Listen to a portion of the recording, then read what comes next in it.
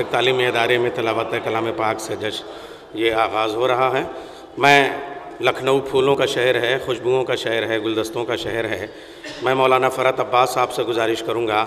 عزت مآب گورنر اتر پردیش، جناب رام نائک جی کی خدمت میں گلدستہ پیش کریں۔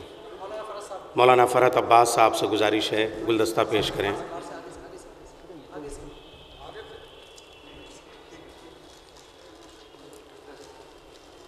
آج کے اس جلسے کے صدر عزت مآب علی جناب مولانا حجت الاسلام والمسلمین مولانا محمد صادق صاحب کی خدمت میں گلدستہ پیش کرنے کے لیے میں گزارش کروں گا سید حسن عباس صاحب سے۔ سید حسن عباس صاحب، جناب مولانا صادق صاحب۔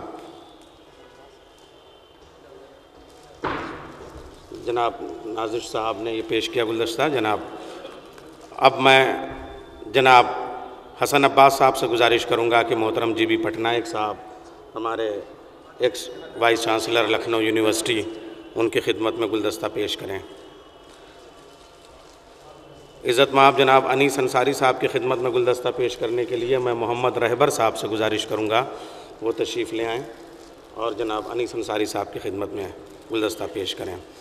اور all India Shia personal law board کے اسپوکس مین خطیب اکبر کے وارث علی جناب مولانا یاسوب عباس صاحب کی خدمت میں گلدستہ پیش کرنے کے لیے میں قمر عباس سے درخواست کروں گا، وہ تشریف لے آئیں۔